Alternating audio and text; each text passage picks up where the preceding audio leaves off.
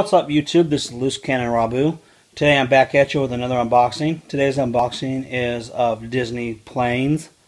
This is the new uh, movie from the from above the world of cars. So that's cool. Alright guys, now this does come with uh, exclusive friends, song, and more. Um, you also get a digital copy. It works with iTunes in this package, so that's cool. Here's what the back looks like. Alright. And we're going to go ahead and take this slip cover off. Um, so we're going to go ahead and slip that out. And here's what the Blu-ray case itself looks like. Alright. And here is the back of that looks like. Alright. So we're going to go ahead and get to the unboxing. We'll get this cellophane off. Going to open this bad boy up. This does have a locking, this is a locking case.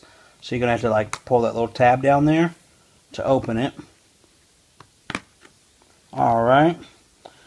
And obviously here's the digital copy code which you guys don't even need to worry about because by the time you see this it'll already be used.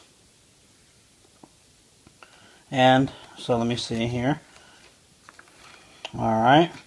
It basically just tells you about how to get your digital copy and stuff a little advertisement for some uh, Disney movies, and um,